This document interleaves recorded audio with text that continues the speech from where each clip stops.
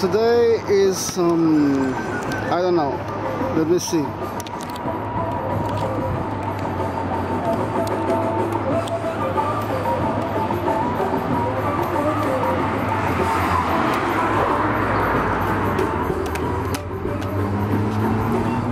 It's March 27.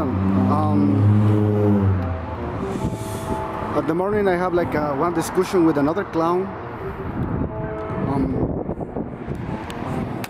not this guy. This guy is my friend, and she is Lauren, a photographer.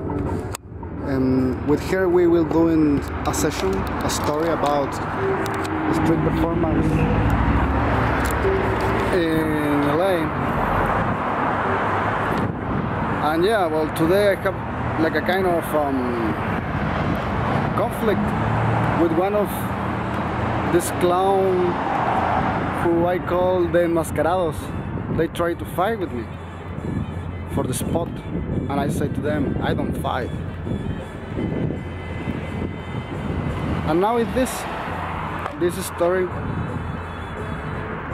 I was a little bit angry, but after to perform, my energy, my energy, my, my vibe, my, my emotion changed to something very positive. In a smile.